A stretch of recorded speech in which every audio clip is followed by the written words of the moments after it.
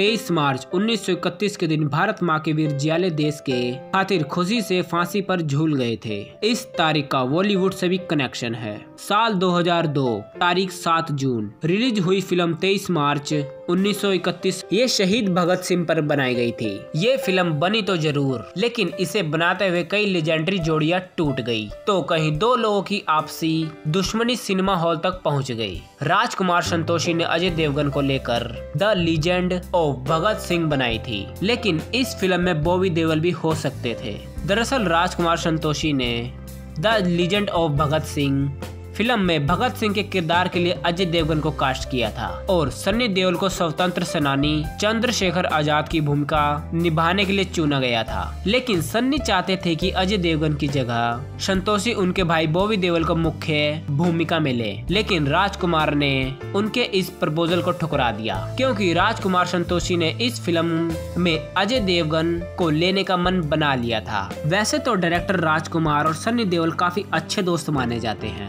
संतोषी ने सन्नी देओल को लेकर काफ़ी सुपरहिट फ़िल्में भी बनाई हैं। संतोषी के इस फैसले के बाद सन्नी देओल ने उनके साथ काम करने से इनकार कर दिया इसके बाद सही संतोषी और सन्नी देओल के बीच मन मुटाव की खबरें मीडिया में सुर्खियाँ बटोरने लगी। यह बात कंफर्म तब हो गई जब सन्नी ने भी भगत सिंह के ऊपर फ़िल्म बनाने का ऐलान कर दिया। इसके बाद ही सन्नी देओल ने गुड्डू धनोवा के निर्देशक में बनी 23 मार्च 1931 शहीद फ़िल्म में शामिल हो गए। इस फ़िल्म में सन्नी देओल ने चंद्रशेखर आज़ाद की भूमिका में नज़र आए और बॉबी देओल ने भगत सिंह की भूमिका निभाई थी। राजकुमार संतोषी से सन्नी देओल इतने खफा हो गए कि उन्होंने फ़िल्म की रिलीजिंग डेट भी उसी रखी थी, जिस दिन राजकुमार ने अपनी film the legend of Bhagat Singh की रिलीज़ डेट रखी थी। ऐसे में सभी को इंतज़ार था दोनों फ़िल्मों के रिलीज़ होने का। दोनों फ़िल्में 7 जून 2002 को रिलीज़ हुई, लेकिन लोगों ने बॉबी देओल से ज़्यादा अजय देवगन को इस रोल में पसंद किया।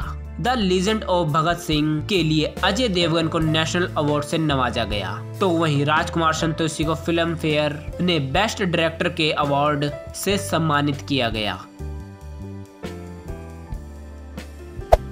Hey there. Subscribe to my channel.